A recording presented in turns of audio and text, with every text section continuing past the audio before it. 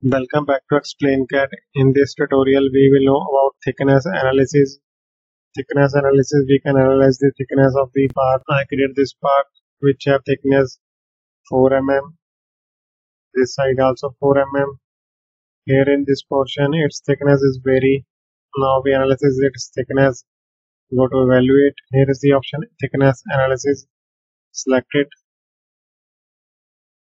First of all, Select analysis parameter.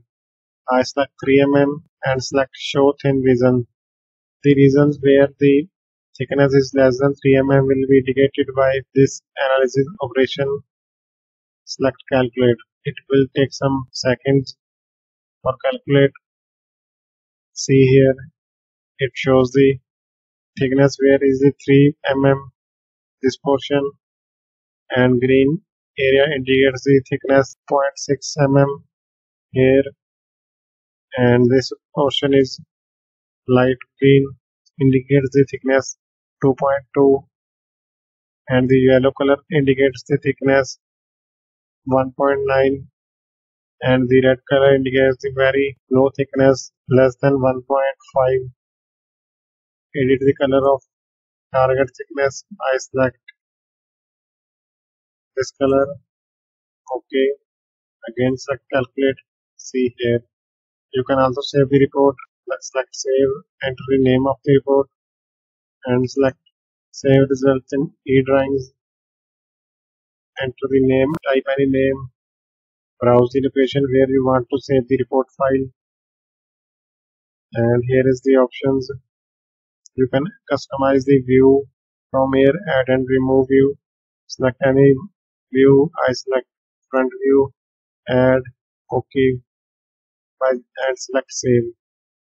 This was the show thin region now we calculate the thick region for thick region again same process. Analysis parameter 3 mm. Thick region limit I selected 3.2 mm. And select calculate will take some seconds for calculating. See here. The regions where have thickness 3.1 this portion it will calculate the thickness scale from 3 mm to 3.2 mm let's say increase its limit. I select 3.9 mm and select calculate now see here the portion which have thickness 3 mm is in sky blue color. From 3 mm to 3.18 mm are in green color in light green color.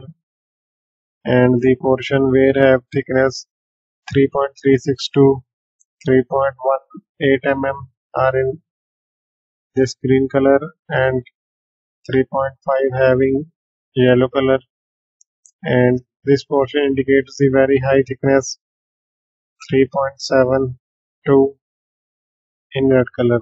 By using analysis thickness you can identify the thickness of the model and improve the value of thicknesses according to conditions.